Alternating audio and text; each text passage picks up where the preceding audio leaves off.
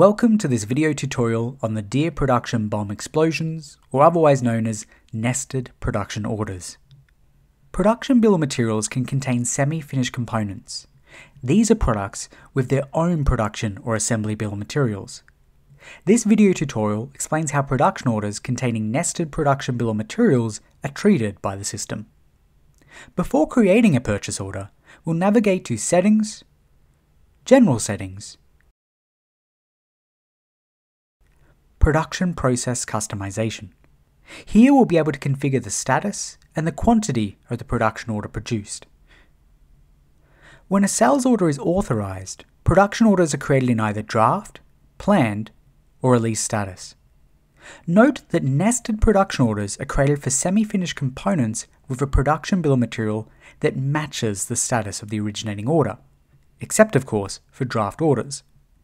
Because of this, Planning and releasing a top level order will also plan and release the nested orders.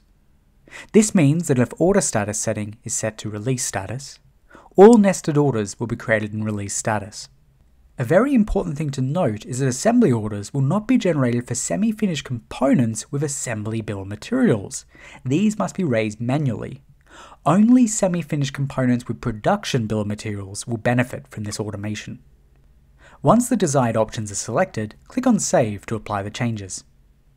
We'll start by creating a simple sales order for the finished good that will trigger a production order for the final finished good, as well as for the nested products that are semi-finished goods within the production bill of materials. This process defines the production bill of material explosion. Navigate to the Sales module and open a new sales order. Fill in the compulsory fields and in the location on the right side, select the shop floor where the production for the final finished good will occur. In the Order tab, select the final finished good, fill in the quantity, price, and click on Authorize.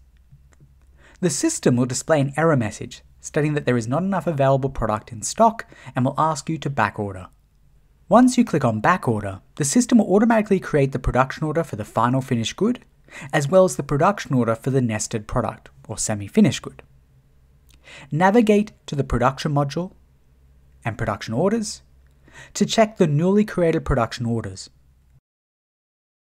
Here, you can open the production order for the final finished good and click Authorize. Then, navigate to the Related Orders tab to be able to see the nested products by clicking the small arrow next to the production order to expand the details. Also note that if the production order was generated by a sales authorization, the sales order will appear in the Related Orders tab at the top level of the production order, as well as nested production orders for semi-finished components. Also note that related orders for semi-finished components will also show the production order for the next nested level up. Now we'll have to complete the production order for the nested product to be able to complete the production order for the final finished good. Please note that completed semi-finished products should be put away to either the shop floor location of the top level order or the connected warehouse location. This ensures it has sufficient component stock to complete the final finished good production.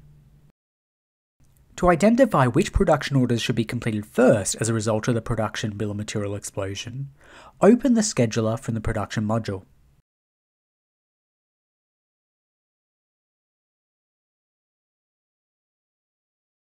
If the orders are in plan status, open the plan tab to see which production orders come first. If the orders are in release status, open the production tab to identify the production orders that are scheduled to be completed first. Important to note, undoing or voiding one level of production order does not undo or void nested production orders. Also, undoing or voiding a sales order that has generated a production order does not undo or void the production order or its nested production orders. That concludes this video tutorial on the DEAR Production Bill of Material explosions.